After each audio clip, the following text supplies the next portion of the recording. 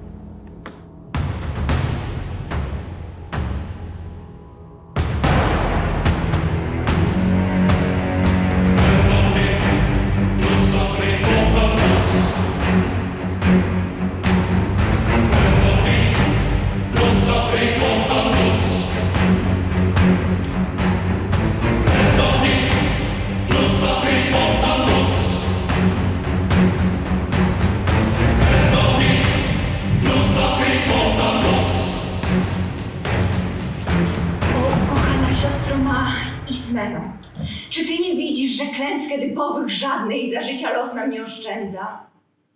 Cóż to za rozkaz znów obwieścił miastu, ten, który władzę teraz w ręku dzierży? Czyś zasłyszała? Czy uszło twej wiedzy, że znów wrogowie godzą w naszych miłych?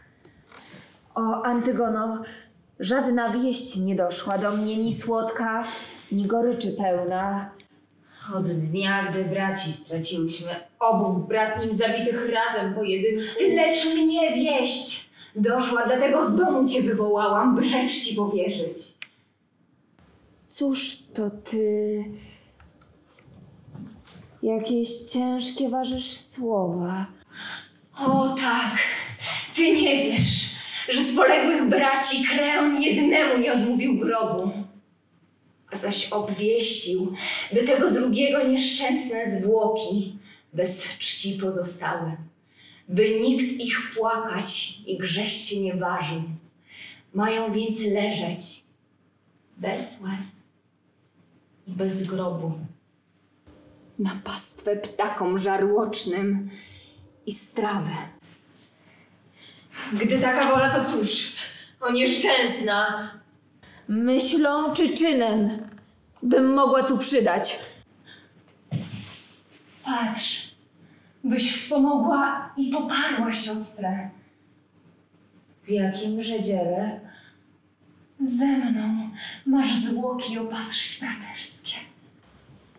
Więc ty zamierzasz grzebać wbrew zakazom? Tak, brata mego, a doda mi twego. Niczym dla ciebie więc zakaz Kreona. Niczym! On nie ma nad moimi prawa.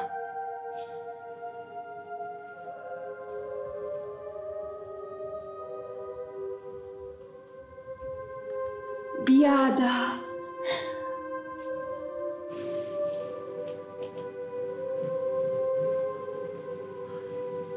O, rozważ siostro, jak nam ojciec zginął wśród sromu i pośród niesławy.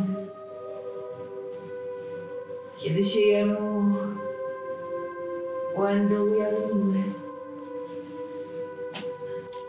a on się targnął na własne swe oczy.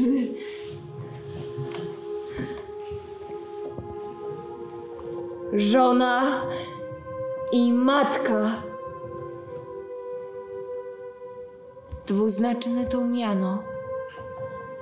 Splecionym węzłem życie swe ukróca.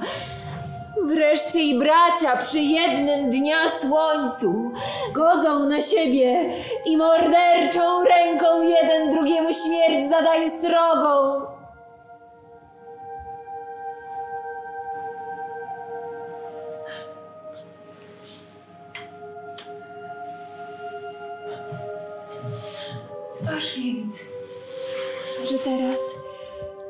My pozostałe zginiemy marnie, jeżeli wbrew prawu złamiemy wolę i rozkaz tyrana.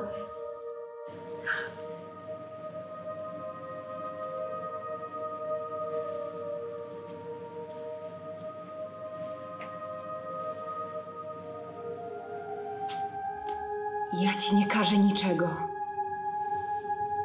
A choćbyś pomóc mi chciała, wdzięcznie by mi było.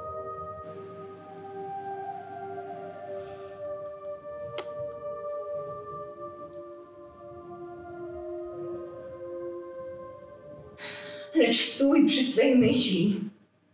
A ja brata pogrzebię sama. A potem zginę z chlubą. Tu znieważaj święte prawa bogów.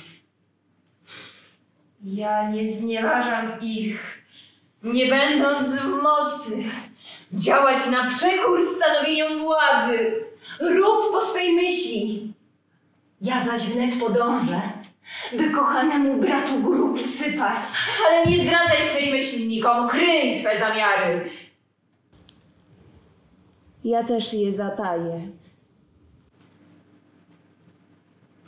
O nie. Mów głośno, bo ciężkie ty kaźnie mogłabyś ściągnąć milczeniem na siebie.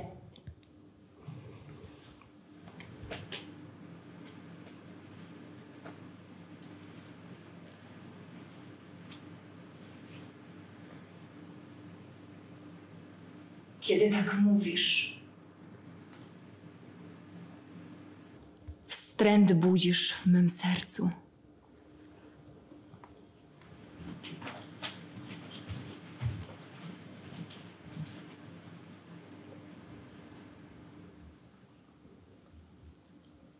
Jeśli tak mnie masz, idź. Lecz wiedz zarazem, żeś nierozważna.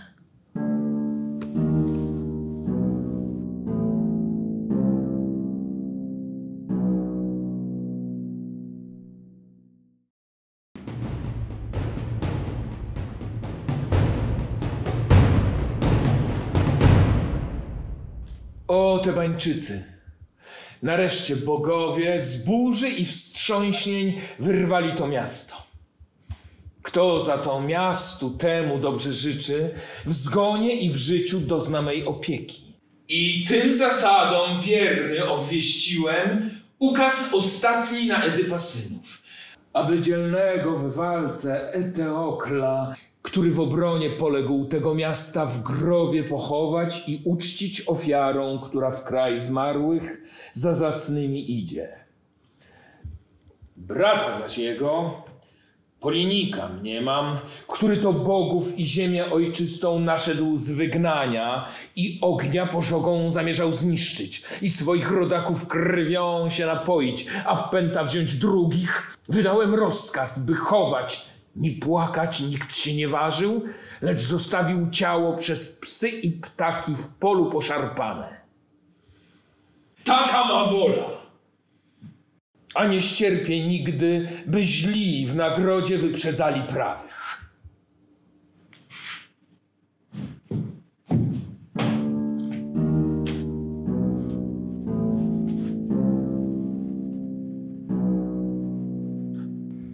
Mów, czy to prawda, czy donos kłamliwy? Jam to spełniła. Zaprzeczać nie myślę. Czyżeś wiedziała o moim zakazie? Wiedziałam dobrze, wszakże nie był tajny. I śmiałaś wbrew tym stanowieniom działać. Nie Zeus przecież obwieścił to prawo. Ja zaś nie chciałam ulęknąć się człeka i za złamanie praw tych kiedyś Bogom zdawać tam sprawę. Bom śmierci ja pewna, nawet bez Twego ukazu. A jeśli wcześniej śmierć przyjdzie, za zysk to poczytam. Krnąbrne po krnąbrnym, dziewczyno, masz ojcu obejście. Grozie nie ustąpisz łatwo. Lecz wiedz, że często zamysły zbyt harde spadają nisko. Że często cię widzi jako żelazo najtwardsze wśród ognia, gnie się i mimo swej twardości pęka. Dziewka ta jedną splamiła się winą, rozkazy dane obchodząc i łamiąc. Teraz przed drugim nie sroma się gwałtem, z czynu się chełpi i nadto urąga. A nie ja mężem, lecz ona by była, gdyby postępek ten jej uszedł płazem, a lecz z siostry czy choćby i bliższej krwią istoty ona pochodziła. Ona i siostra nie ujdą przenigdy śmierci straszliwej. Bo i siostrę skarcę, że jej wspólniczką była w tym pogrzebie. Wołać mi tamtą, którą co dopiero widziałem w domu zmieszaną, szaloną. Chcesz li coś więcej ponad śmierć mi zadać? No nie. W tym jednym zawiera się wszystko. Czcić swe rodzeństwo nie przynosi wstydu. Nie był ci bratem ten, co poległ drugi? Z jednego ojca i matki zrodzone. On, co pustoszył kraj, gdy tamten bronił. A jednak Hades pożąda praw równych. Dzielnemu równość ze złym nie przystaje.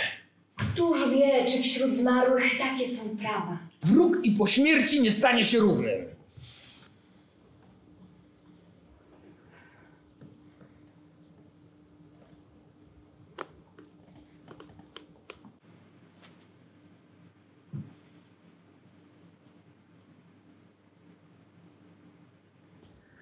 Współkochać przyszłam. Nie, nie współnienawidzić. Jeśli chcesz kochać, kochaj ich w Hadesie.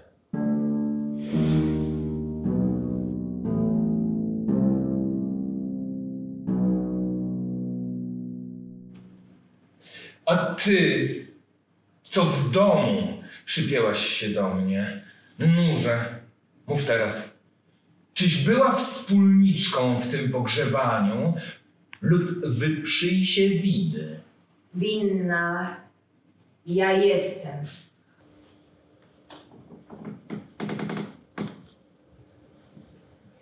Jak stwierdzi to siostra. Hades i zmarli wiedzą, kto to zdziałał.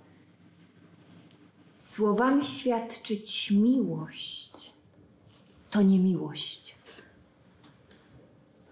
O, nie zabraniaj mi, siostro, choć w śmierci z tobą się złączyć i uczcić zmarłego. Nie chcę twej śmierci, lecz nie zwij twym dziełem coś nie sprawiła. Mój zgon starczy, bratu. Po cóż mnie dręczysz bez żadnej potrzeby? Cierpię ja, że mi śmiać przyszło się z ciebie. Czym bym choć teraz przydać ci się mogła? Myśl o ratunku. Ja go nie zawiszczę. Skąd wiesz, co na dnie słów moich się kryje? Bądź zdrowa, żyjesz.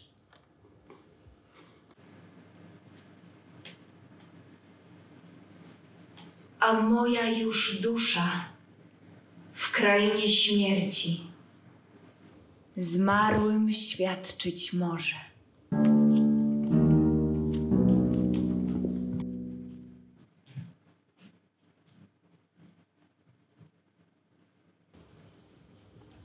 Po cóż mi życie warte bez mej siostry?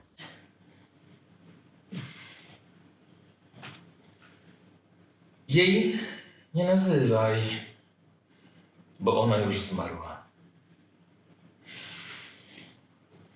Więc narzeczoną chcesz zabić ty syna. Są inne łamy dla jego posiewu. Lecz on był dziwnie do niej dostrojony. Złymi dla synów niewiasty się wstydzę. Hades posłaniem będzie tej miłości.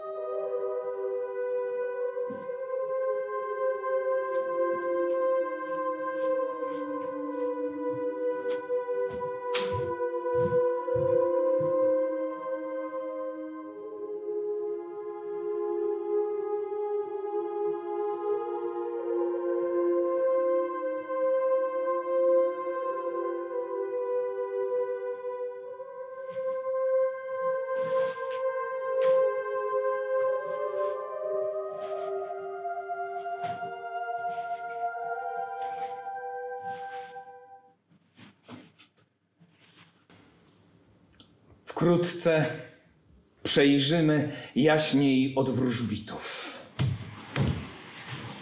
O synu, czy ty przybywasz tu gniewny wskutek wyroku na twą narzeczoną? Czy w każdej doli zachowasz mnie miłość? Twoim ja, ojcze. Skoro mądrze radzisz, idę ja chętnie za Twoim przewodem. O, tak, mój synu, być zawsze powinno. Zdania ojcowskie ponad wszystkim ważyć. Przecież dlatego błagają ojcowie, aby powolnych synów dom ich chował. Kto by zaś płodził potomstwo nic warte, cóż by on chował jak troski dla siebie, a wobec wrogów wstyd i pośmiewisko. Ojcze, najwyższym darem łaski bogów jest niewątpliwie u człowieka rozum. A ja słuszności Twoich słów zaprzeczyć, ani bym umiał, ani chciałbym zdołać. Ale sąd zdrowy mógłbym mieć też inny. Mam ja tę wyższość nad Tobą, że mogę poznać, co ludzie mówią, czynią, ganią. Bo na Twój widok zdejmuje ich trwoga i słowo Ciebie rażące zamiera. Tak więc cichaczem przyszło mi wysłuchać, jak miasto nad tą żali się dziewicą, że ze wszech niewiast najmniej ona winna. Czyżbo ta, co w swym mnie przeniosła sercu, by brat jej leżał martwy bez pogrzebu, raczej nagrody niegodna jest złotej? Nie żyw więc, ojcze, tego przeświadczenia, że tylko twoje coś warte jest zdanie. A więc w mym wieku mam mądrości szukać i brać nauki u tego młodzika. Nauki słuszne. A jeśli ja młody, na rzecz raczej, niż wiek baczyć trzeba. Na rzecz nieswornym, która cześć oddaje, Przeczy głos ludu, co w tebe mieszka grodzie. więc lud mi wskaże, co ja mam zarządzać. Marne to państwo, co li panu służy. Ten, jak się zdaje, z tamtą dziewką trzyma. Z ojcem się swarzać, o przewrotny synu. Bo widzę, że ty z drogi zbaczasz prawej, O niski duchu na służbie kobiety. bo w służbie złego nie znajdziesz mnie nigdy. Cała twa mowa jej sprawy ma bronić. Twej sprawy, mojej i podziemnych bogów. Nigdy już żywej ty jej nie poślubisz. Zginie.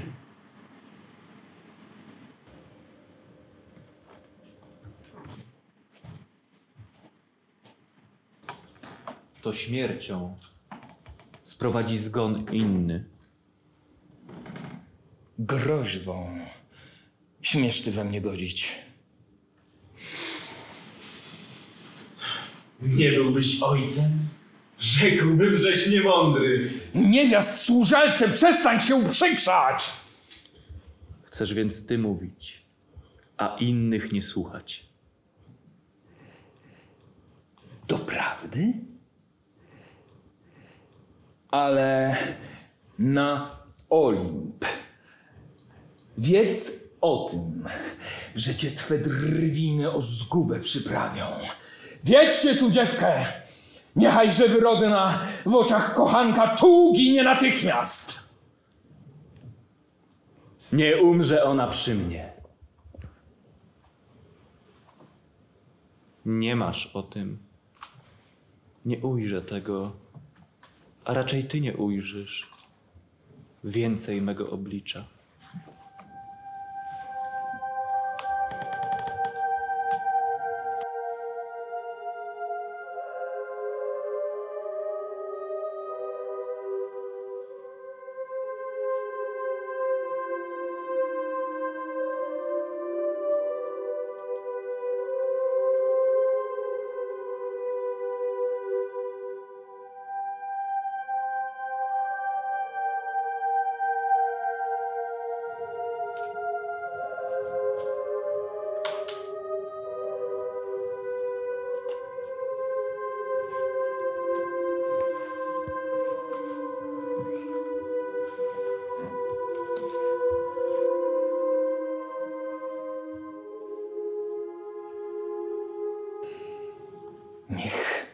Myśli, czyny knuje on zuchwale.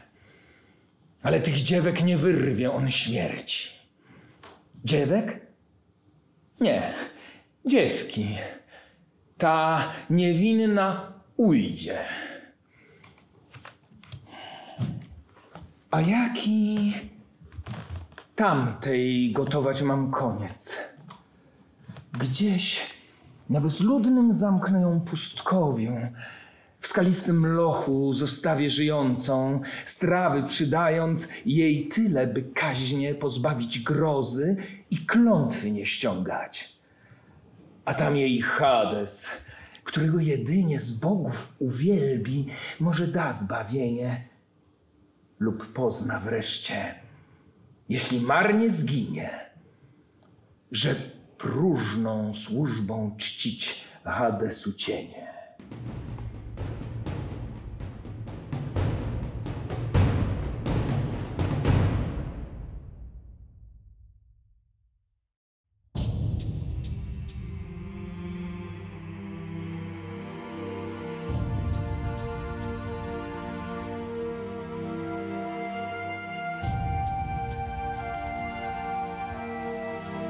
Słyszałam niegdyś o frygijskiej Niobę, córce Tantala i jej strasznym zgonie, że skamieniała w swej niemej żałobie i odtąd ciągle we łzach bólu tonie.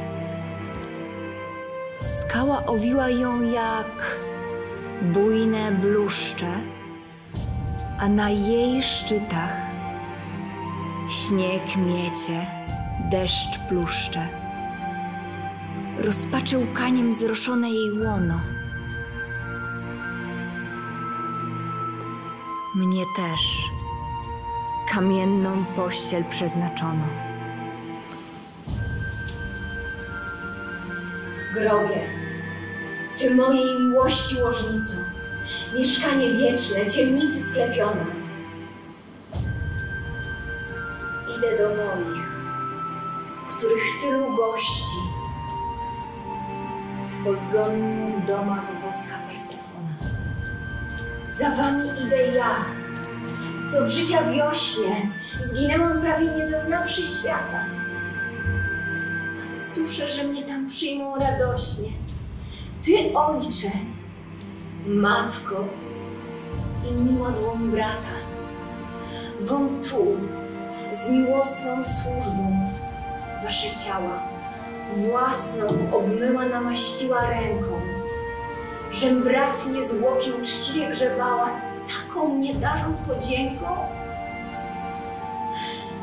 Mam u szlachetnych ludzi cześć i chwałę, lecz potępienie ze strony Kleona, bo on me czyny uznał za zuchwałe. Ręką więc jego teraz uwięziona, ani zaznawszy słodyczy wesela, ni jej uczuć matki, ni jej dziadek pieszczoty. Schodzę tam sama i bez przyjaciela. Nieszczęsna, żywa, do grobowej groty. Jakież to bogów złamałam ustawy. Jakże do bogów podnosić mam modły, wołać o pomoc, jeżeli czyn prawy, który spełniłam, uznano za podły. Lecz jeśli z bogów to zrządzenie płynie, trzeba mi winnej w ciszy znieść cierpienia. Jeśli ci błądzą, niech sięgnie ich w winie kaźń równa bogów ramienia.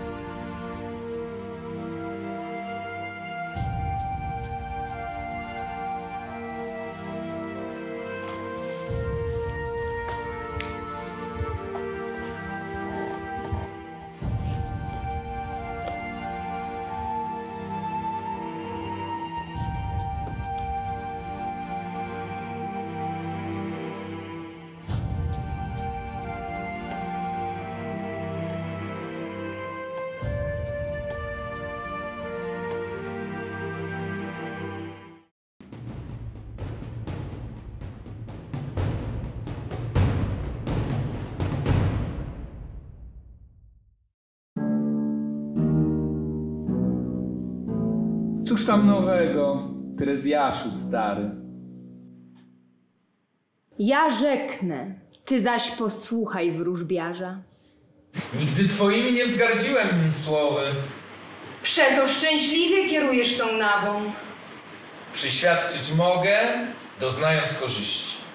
Zważ teraz, znowu stoisz na przełomie. Poznasz tę prawdę ze znaków mej sztuki.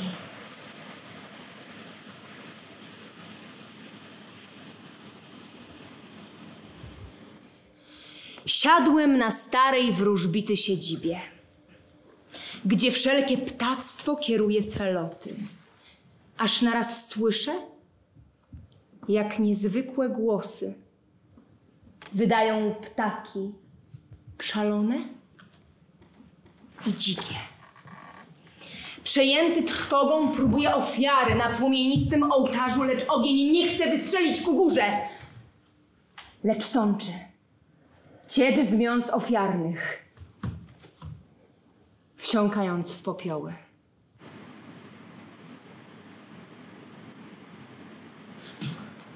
Tak więc chorzeje miasto z twojej winy. Bo wsze ołtarze i ofiarne stoły psy pokalały. I ptactwo, co ciałem Edypowego żywiło się syna. Więc nie przyjmują już ofiarnych modłów bogowie od nas. I ofiarnych dymów. Starcze. Wy wszyscy, jak łucznik do celu, mierzycie we mnie. Teraz i wróżbiarstwo sidła zastawia. a krewni mą myślą, kupczą, frymarczą z dawna jak towarem. Na pogrzeb tego jednak nie zezwolę.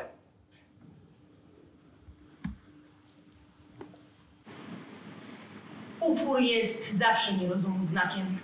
Nie chciałbym cięższym obrazić cię słowem. Czynisz to, kiedy mi kłamstwo zarzucasz. Mądry ty wróżbiarz, lecz oddany złemu.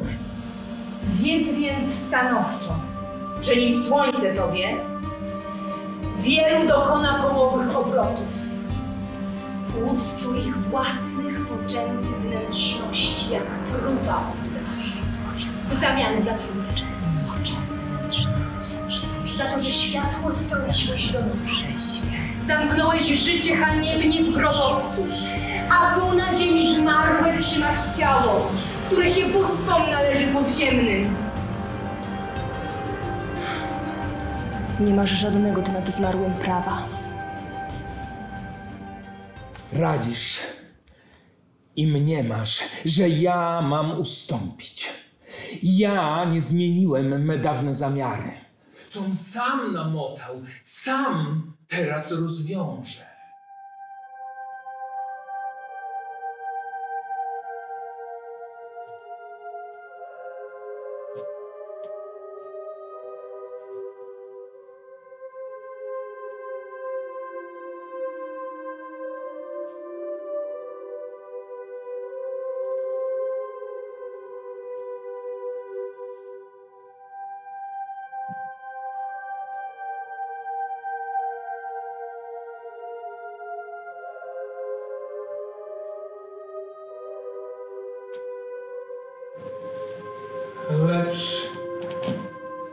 Otóż widzę moją Eurydykę. skończyli. Śmierci ich winni, co żyją. Któż był mordercą? Któż poległ?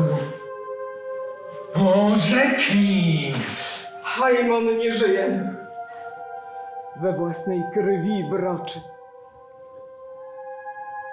Powtórz, że tedy, co za wieść przynosisz? Gdym z mymi sługi szukać syna chciała. Śpieszył, a z dala ktoś jęki usłyszał od strony lochu, co za grób miał służyć. Choć nie święciły go żadne obrzędy. Idziem do wnętrza, a w grobowca głębi dojrzym wnet dziewkę, wiszącą za gardło ściśnięte węzłem muślinowej chusty.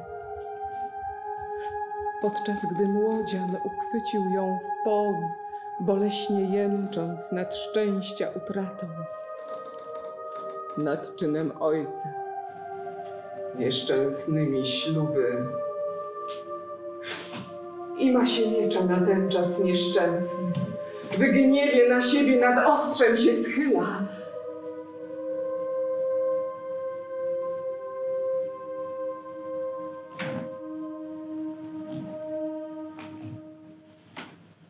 i miecz w bok wraża.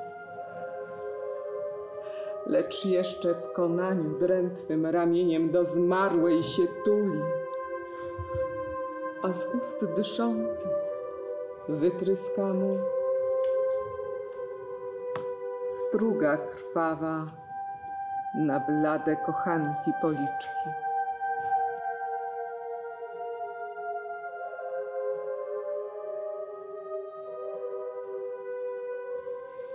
Jam syna chciała jeszcze ucałować.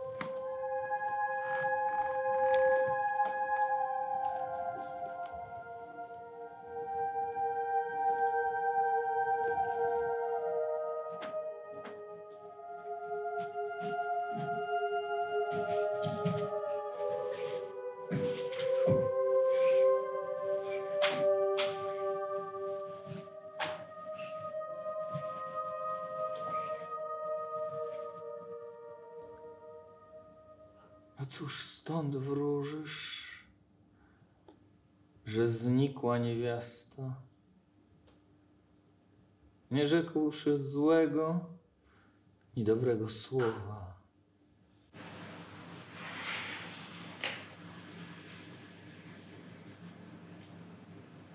Późno się zdajesz poznawać, co słuszne.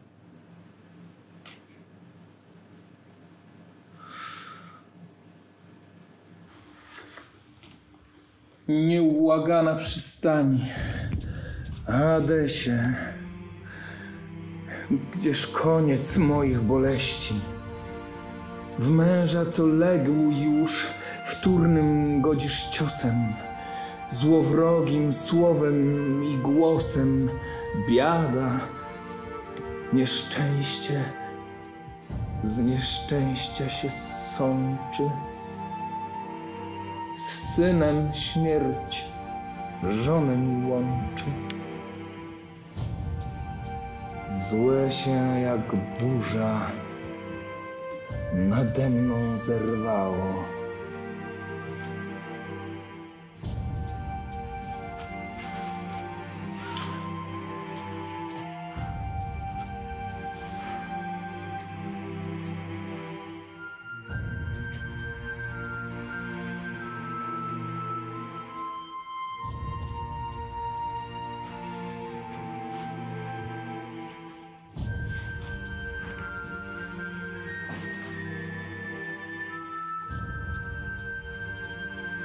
Siła jest dziwów, lecz nad wszystkie sięga dziwy człowieka potęga. Bo on prześmiało poza sine morza, gdy toń się wzdyma i kłębi. i z roku na rok swym lemieszem orze. Matkę, ziemicę do głębi. Lotny ród ptaków i stepu zwierzęta i dzieci fali usidla on wpęta. Wszystko rozumem zwycięży. Dzikiego zwierza z gór ściągnie na błonie. Krnąbrny kar, która i grzywiaste konie Ujarzmił w swojej uprzęży. Wynalazł mowę, li dał skrzydła. I życie ujął w porządku prawidła.